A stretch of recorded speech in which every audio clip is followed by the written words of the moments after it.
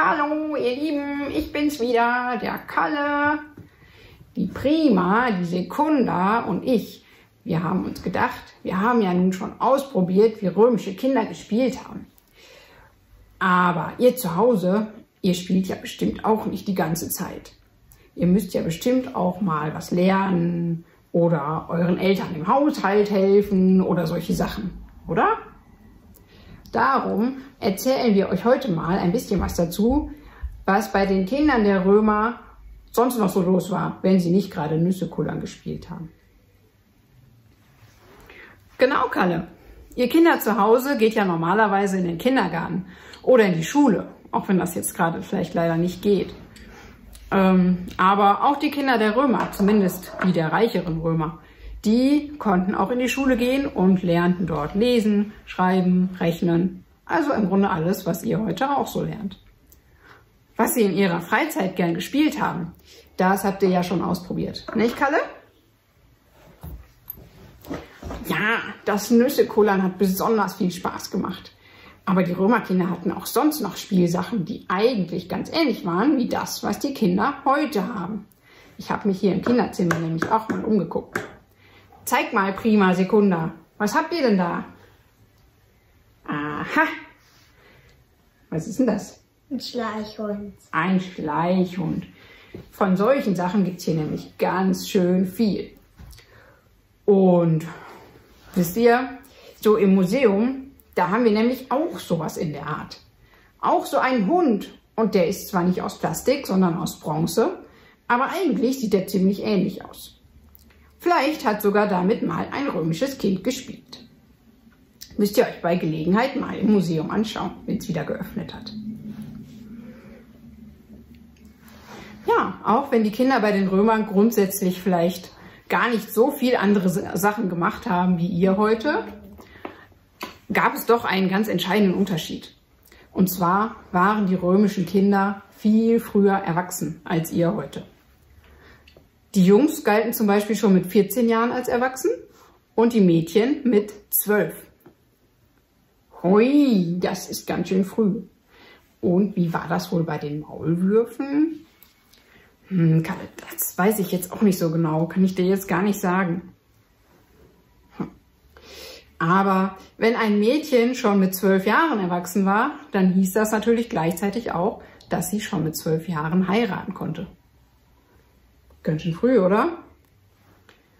Mit zwölf Jahren konnte sie also verheiratet werden und ging dann auch nicht mehr zur Schule. Könnt ihr euch das vorstellen? Mit zwölf Jahren schon zu heiraten? Puh. Und die Jungs sollten natürlich am besten den Beruf ihres Vaters übernehmen. Aber bis es soweit war, gab es eine ganz bestimmte Sache, die ein römisches Kind auszeichnete. Weißt du noch, welche das war, Prima? Bulla. Genau, ganz genau, prima. Sehr gut. Aber ich glaube, wir müssen den Kindern erstmal erklären, was eine Bulla eigentlich ist. Eine Bulla ist ein Glücksbringer. Den haben die Kinder um den Hals getragen und er sollte sie vor allem Bösen beschützen. Guck mal, ich habe so eine Bulla umhängen. Tatsächlich. Die ist aber schön. Genau, jetzt könnt ihr euch mal so ungefähr vorstellen, wie so eine Bulla aussah. Diese hier haben wir gebastelt aus Goldpapier. Das machen wir gerne mal im Museum. Aber die Römer hatten natürlich kein Goldpapier. Eine echte, frühe, eine echte Bulla früher bei den Römern, die war zum Beispiel aus Leder oder je nachdem, wie viel Geld man hatte, konnte die auch aus Gold oder Silber sein. Die Bulla trug ein Kind so lange, wie es ein Kind war. Wenn es erwachsen wurde, also an seinem 14. Geburtstag, nahm es die Bulle ab, sodass jetzt jeder sehen konnte, dass es kein Kind mehr war, sondern erwachsen. Aber weil ihr ja schließlich alle noch Kinder seid und ein Glücksbringer kann ja nie schaden, wollen wir euch jetzt noch zeigen, wie man unsere Bulla ganz einfach nachbasteln kann. Wenn ihr kein Goldpapier haben solltet zu Hause, dann versucht es mal mit Alufolie. Das klappt auch. Viel Spaß dabei!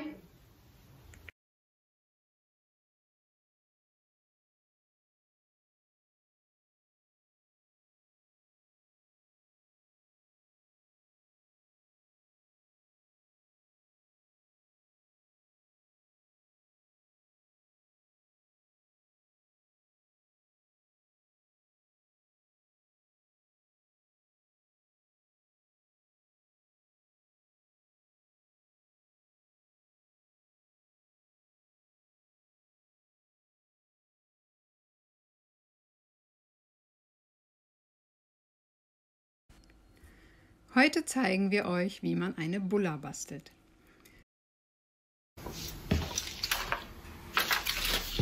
Als erstes nehmt ihr die Schablone mit den beiden Wellenlinien oben und unten und den Öhrchen an den Seiten. Zeichnet diese einmal auf das Goldpapier und schneidet sie aus.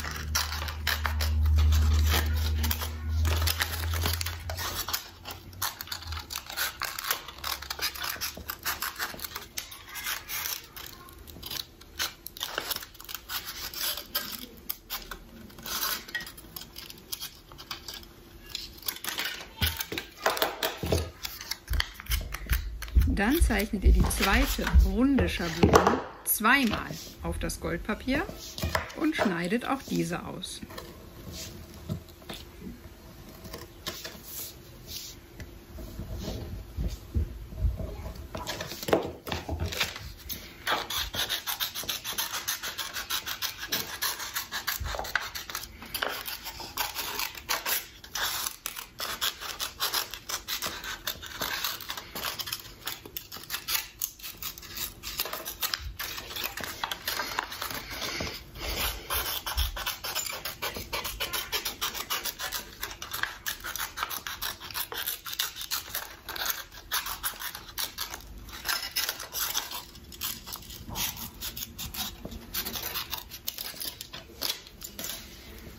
Nun nehmt ihr das erste Stück Goldpapier und faltet es in der Mitte, sodass die Wellenlinien aufeinander liegen und die Öhrchen die Enden vom Knick bilden. Jetzt geht es ans Verzieren. Ihr legt das Wellenöhrchenteil mit der Innenseite aufgeklappt vor euch auf die Unterlage, zum Beispiel den Bierdeckel und zeichnet mit einem Kugelschreiber Verzierungen hinein, zum Beispiel Ranken, Schnörkel, Blumen, was auch immer euch einfällt.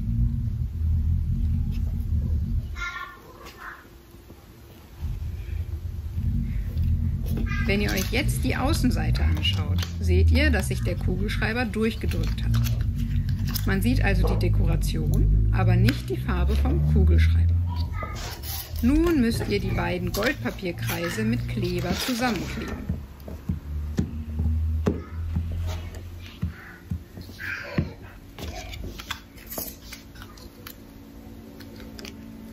Auch das dekorierte Teil müsst ihr auf der Innenseite mit Kleber einschmieren.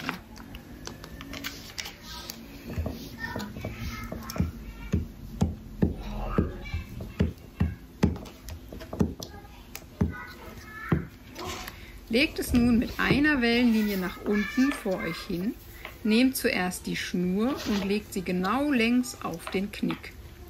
Darunter legt ihr an die Schnur den Kreis und klappt die obere Hälfte des Wellenöhrchenteils zu.